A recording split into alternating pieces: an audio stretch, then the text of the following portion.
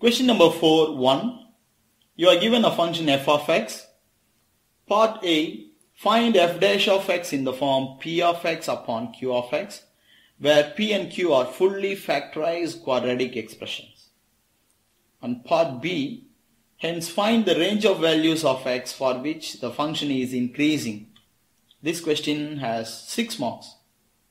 We are given a function f of x is in the form of u upon v. We need to find f dash of x, first derivative of uh, f of x in the form p of x and q of x and p and q must be in the fully factorized form. And part B, you need to find the values of x for which the function is increasing. So if you do part A and B together, you'll be given 6 points. Okay, first take the function f of x. f of x is 2x plus 5 whole square upon x minus 3.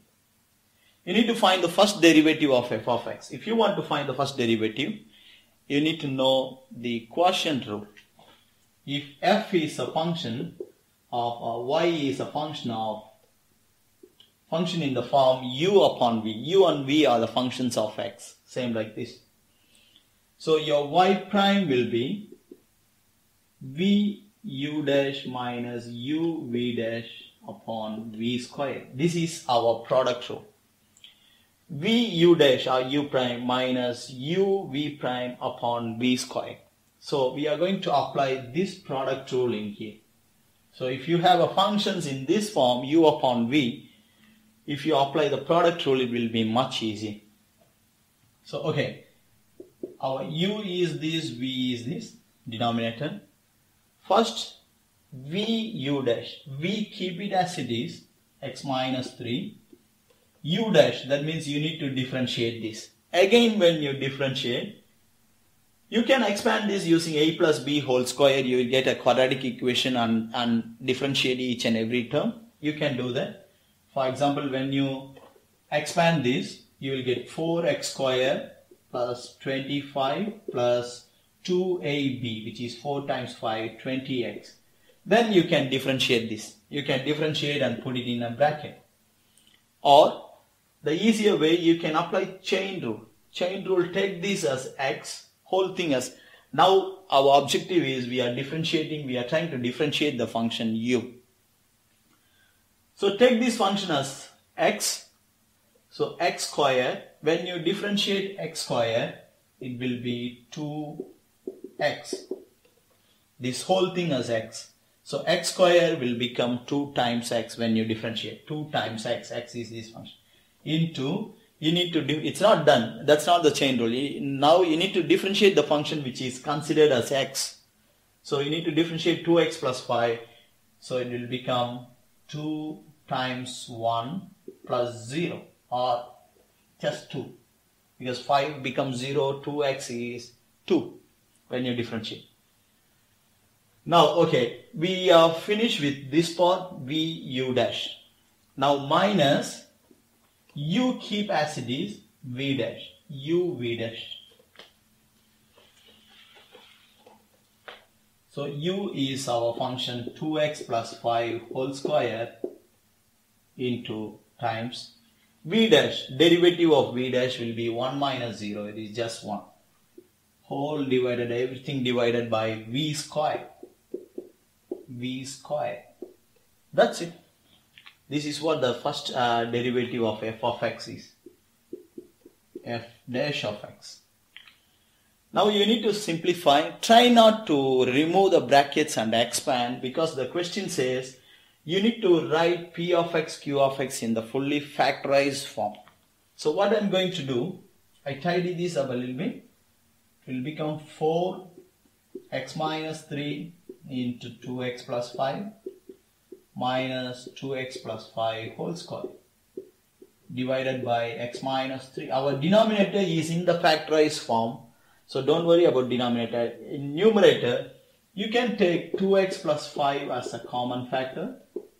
You can take 2x plus 5 as a common factor. So here you are left with 4x minus 12. 4x minus 12 minus here you have two terms 2x plus y into 2x plus y. And we have taken one 2x plus y 2x plus y out as a common factor. So you are left with one more 2x plus y. And denominator is the same. That's it. When you simplify this you got the factorized form already.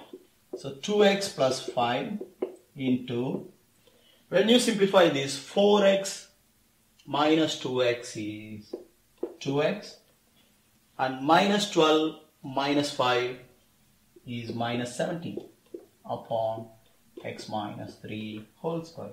That's it. We got the we got the first derivative in the fully factorized form. This is how you do it. Try not to remove the bracket and expand. It's going to make your life very difficult.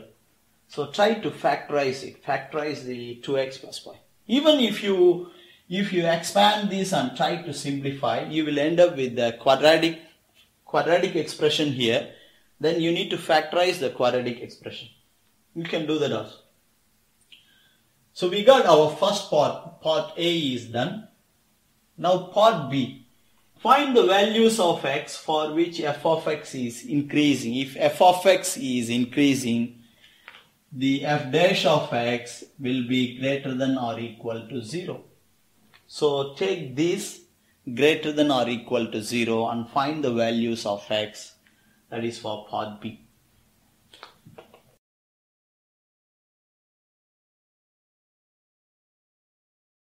Now part B we need to find the values of x for which the function is increasing. So take the first derivative greater than or equal to 0. If the question says decreasing take less than or equal to 0 and you need to find the values of x. Look at the denominator it's x minus 3 whole square. So no matter what the value what value the x takes your your denominator is going to be positive. So you can bring this denominator here. So it will become 2x plus 5 into 2x minus 17 greater than or equal to 0 because uh, you can multiply both sides by x minus 3 whole square. It's a positive number. Now this is a quadratic inequality. In P1, if I'm not wrong, we have learned how to solve a quadratic inequality. If you don't know, first find the roots, which is minus 5 upon 2, 17 upon 2. You got two roots. Now draw a little rough diagram minus 5 upon 2 here, 17 upon 2 here. Your curve will be a U-shaped parabola because the coefficient of x square will be positive. 4x square, it's positive number, so it's going to be a U-shaped parabola. And uh, they are uh, looking, we are looking at the, pos the curve, the value of the curve is greater than or equal to 0. So basically this part above the x-axis, these two points.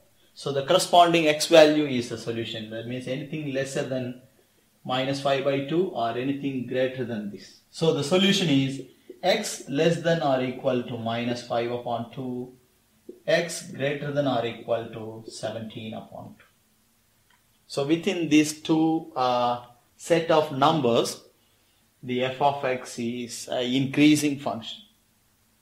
The same question they say decreasing function, it will be less than or equal to 0. So you need to take the below the curve below the x-axis. So the your solution will be minus 5 by 2 less than or equal to x less than or equal to 17 upon 2. For decreasing. For increasing this is the solution. Even if you don't take the particular value minus 5 by 2 that's fine. Minus 5 by 2 17 upon 2 you can write this also. So this is where the function is an increasing function. So you got 6 marks for this part A and B. Now let's move on to part C.